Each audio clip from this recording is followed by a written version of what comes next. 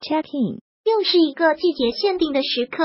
躺在床上听着下出的雨声，梦与醒来的界限模糊不清晰。淅淅沥沥的声音是特定的，城市里的是落在雨棚上，而山野之间的是落在叶子与花朵上。走在去夜旅时光去朝民宿的路上，第一次就这样不打伞。在城市里，不打伞是一件很狼狈的事情，路人会围观你，识别二维码预定。而在这里。我以为自己是个很年轻的少年。我们都知道，可以抵抗全世界的悲伤和迷惘的，是不会承载沉重人心的美景。下雨也是雀跃的，艳雨时光去超民宿，以轻奢度假主题，却不是浪漫与文艺。投影在墙上的文字是老板浪漫文艺的情怀。大隐隐于市，在临风景区最繁华的步行街，摘了一处静谧之地。只要稍稍走几步。经过一个神秘的路口，便将城市喧嚣隔绝于身后。站在村里抬头，便是夫妻峰。仙气和人间烟火气是可以共存的吧？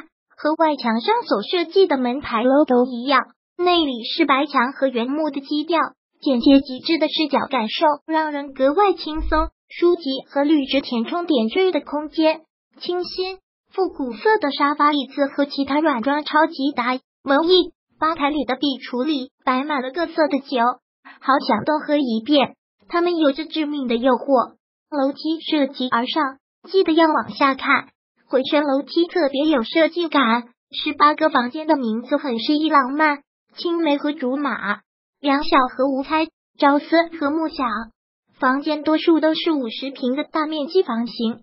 房间的设计风格清新淡雅，作为青蛇的度假民宿。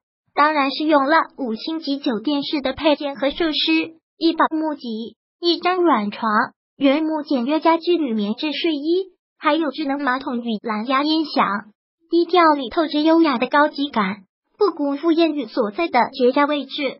每个房间都有靠窗的坐榻，推窗就是五 A 级的风景，雁荡山的好客气，好风景都应尽情享受。淋了雨的少年需要一个浴缸泡澡。还需要一瓶酒来让快乐翻倍，必要的时候需要一丢丢的呆滞。这个时候，缱绻的舒适感爬上心头，抚平心头的褶皱。入夜要关心，夜聊是标配。天台和座椅已在了。初夏的夜可真适合做这一切。餐厅提供的餐食，试验与自己在烟云种植的纯天然的果蔬，雁荡山当地的小吃，以及作为沿海城市必须有的海鲜。如果喜欢本视频，请分享并订阅本频道，访问 T T News 点 X Y Z 获取更多相关资讯。